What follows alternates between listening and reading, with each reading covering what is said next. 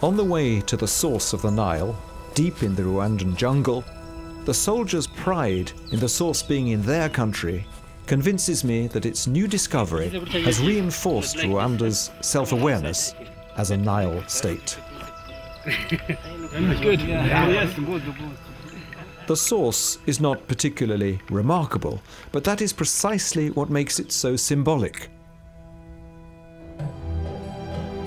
It emphasizes how the Nile is created by thousands upon thousands of such small streams.